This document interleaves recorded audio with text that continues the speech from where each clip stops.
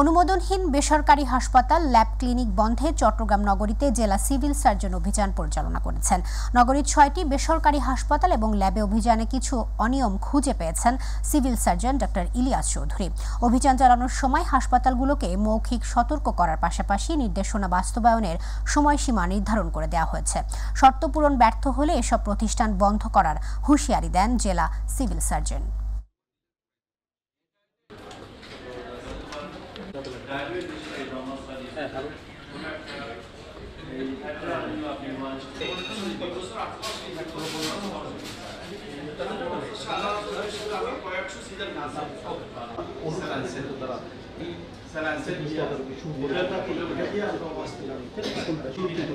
পদার্থিক করছে বলে আমাদেরকে জানিয়েছেন এখানে সিভিল সাথে আমরা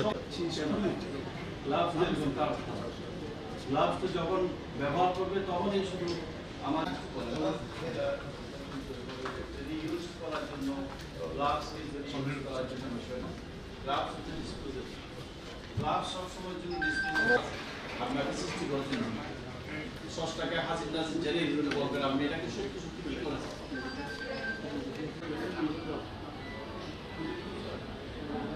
তো পেয়ে গেছি।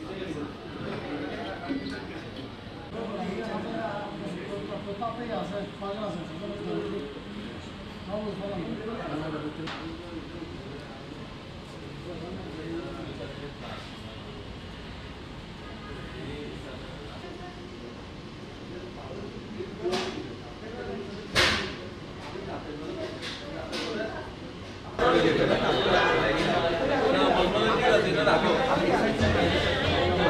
কিন্তু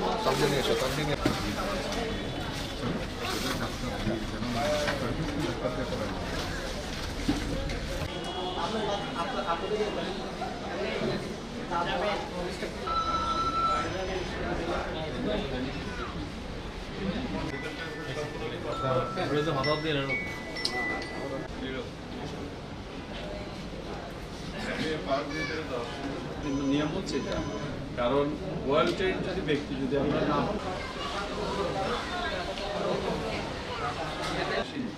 আপনারা এই সমস্ত জায়গায় রাখতে হবে, একটা ওই অবস্থা যাতে না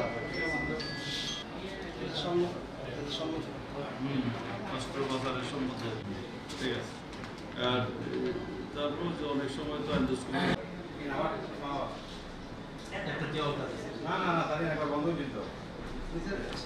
আমরা আসলে প্রত্যেকটা ল্যাবের কোয়ালিটি দেখতে পেরেছি। ল্যাব এবং ক্লিনিক যেগুলো আছে, হাসপাতাল যেগুলো আছে, এগুলোর কোয়ালিটি দেখতে আমরা পেরেছি তো যেগুলো দেখলাম, এটা আসলে যতটুকু পর্যন্ত থাকার কথা, ততটুকু পর্যন্ত আমরা আসলে এই রকম কোয়ালিটি আমরা পাই নাই। এটা আমি মনে করি জনগণের প্রতি একটা প্রতারণার সামিল। আমরা এটার জন্য আইনগত ব্যবস্থা নিব। আমরা এটা ওনাদেরকে যে এটা সতর্ক করব, ওনারা যদি আমাদের শর্ত পূরণ করতে পারে তাইলে চালাবে, না হলে তো আপনারা তো শুনেছেন ওনাদেরকে মৌখিকভাবে আমরা যে নির্দেশনা দিয়েছি, আগামী দুই দিনের মধ্যে সমস্ত শর্ত পূরণ করে যদি ওনারা না দিতে পারেন, আগামী শুক্রবার থেকে আমরা এটা অনির্দিষ্টকালের জন্য বন্ধ করে দেবো।